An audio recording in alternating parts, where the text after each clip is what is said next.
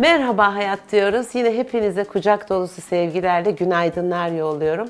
Bugün içinizi ısıtacak çok güzel bir çorba yapmak istiyorum. Hani bu çorbanın içine ne koyacağız derseniz Anadolu'nun her bölgesinde yoğurt çorbası farklı malzemelerle yapılır. Ben istedim ki bugün pazarda bulduğum bütün yeşilliklerle ve buğdayla güzel bir yoğurt çorbası yapayım size.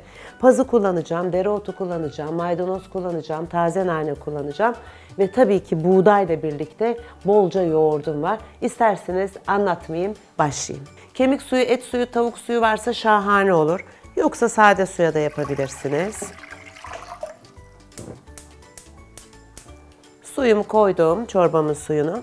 Şimdi daha önce de dolapta haşladığım ve beklettiğim, e, buzlukta sakladığım e, buğdaylarım vardı. Buğdayı bir kilo kadar alıyorum, haşlıyorum. Soğuduktan sonra buzdolabı poşetlerine bölüyorum ve buzlukta saklıyorum. Ne zaman çorba yapmak istersem, ne zaman bir yemeğin içine ilave etmeyi icap ederse e, buğdayım hazır oluyor. Çünkü her seferinde buğdayı haşlamak çok uzun sürüyor gerçekten.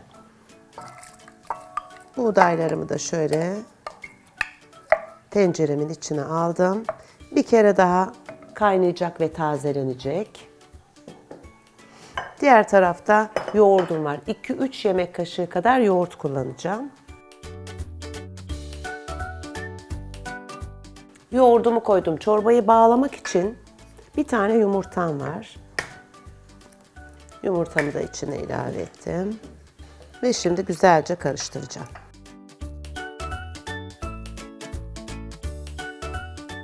Şimdi buğday çorbama bir kıvam verecek. Yerken böyle sulu sulu olmayacak ama yine de hem bereketini arttırmak hem lezzetini arttırmak hem de o çorbanın kendi güzel kıvamını sağlamak için içine şöyle 1-2 yemek kaşığı kadar un ilave ediyorum. Unla beraber güzelce buğdaylarım kaynayacak. Tabi unların top top olmamasına dikkat ediyoruz. Tuzumu da ilave edeyim ki buğday da un da çorbamın suyu da lezzetlensin.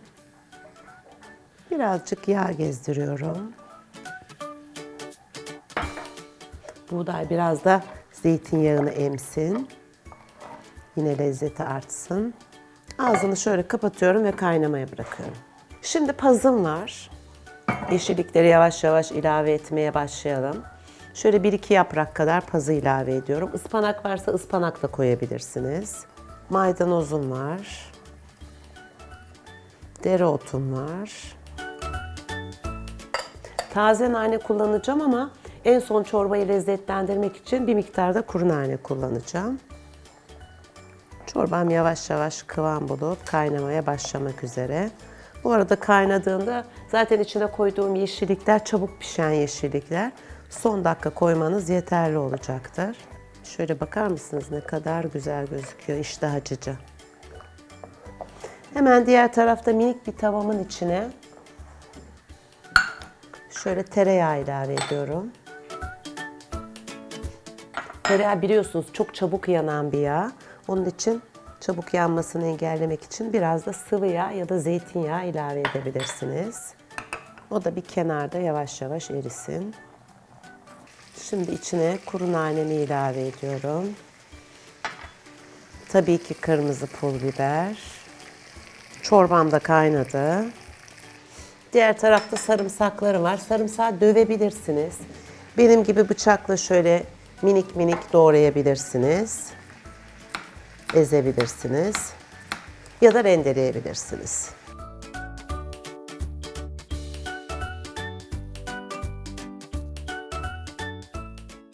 Ben bol sarımsaklı seviyorum bu tip çorbaları. E, son dakika içine koyduğunuzda gerçekten lezzetini çok güzel bir yere taşıyor.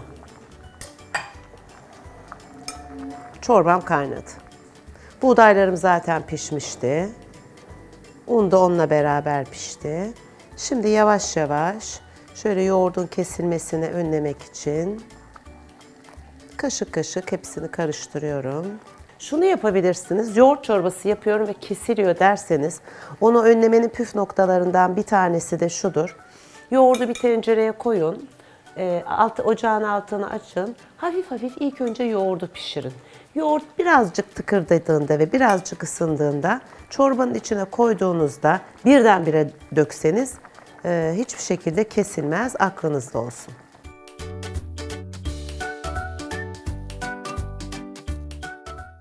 Şimdi yavaş yavaş yoğurdumu ilave edeceğim.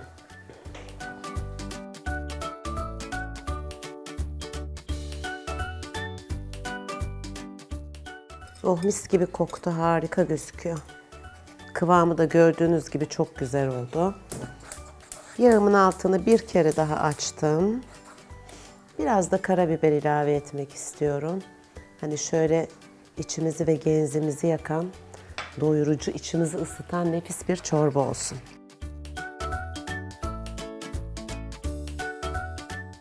Gerçekten harika kokuyor. Evet, şimdi servis zamanı. Servise hazırlandık. Bakın çok güzel oldu çorbanın kıvamı. Dediğim gibi sadece buğday da un koymadan da yapabilirsiniz. Ama şu güzel çorba kıvamını yakalamak için 1-2 yemek kaşığı un koymak gerekiyor. Bol yeşillikli, mis gibi kokan harika bir kış çorbası. İçinizi ısıtacak nefis bir çorba oldu. Bereketli, maliyeti çok yüksek değil. Ben biraz fazla nane severim. Kuru naneyi de, de taçlandırdık. Efendim bereketli olsun, içinizi ısıtsın. Eşinizle, dostunuzla, komşunuzla paylaşma fırsatı olsun. Bütün lezzetlerini efendim diyorum. Merhaba Hayat yine konuklarıyla devam ediyor. Görüşmek üzere.